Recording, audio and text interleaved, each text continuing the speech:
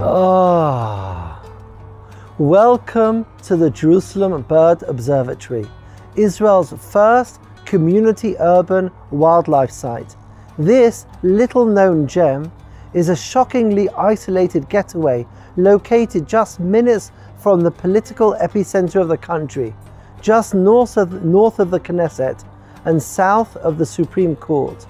This 5,000 square meter safe haven is strategically located along the Great Rift Valley, thus attracting a wide variety of the 500 million birds that migrate through Israel every year.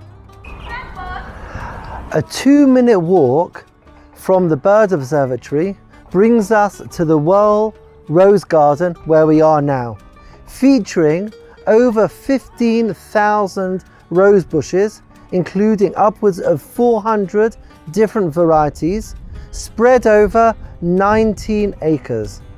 This immaculately cultivated garden perfectly complements the unfettered wildlife we see here.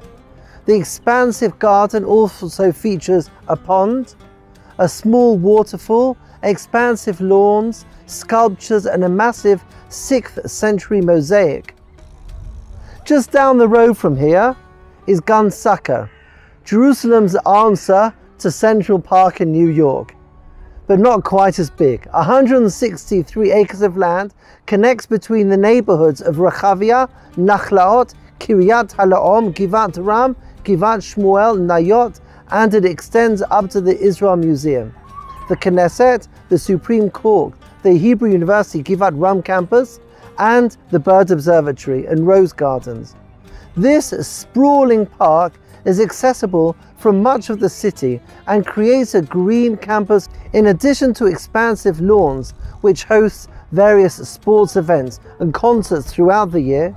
The park features shaded picnic areas with full amenities, outdoor workout facilities, a skate park, basketball and tennis courts, soccer pitches, and a large children's playground, bike parks, a dog bike paths, a dog run, educational centre, cafe restaurants, and of course, drinking fountains and full service restrooms. Park Masila, the train track park, covers 80 dunams and runs from the Baka neighbourhood all the way to Malcha. The park has separate lanes for pedestrians and bikes separated by green space and features several book exchanges and plenty of beautiful places to sit and enjoy the many great views along the way. For someone in a wheelchair, Park Masila allows the opportunity to go for a long walk, almost 10 kilometers, without encountering any steps. Community gardens throughout the city are maintained by local residents, providing herbs, spices, fre fresh fruit, and a quiet corner to enjoy the beauty of nature within, within the city. You can use the community gardens for your compost and the municipal website provides you with a list of all the places where you can find a community garden.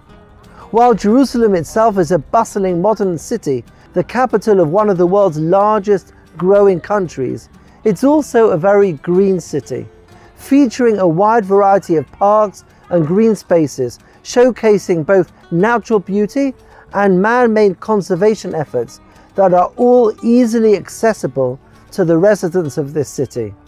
Enjoy.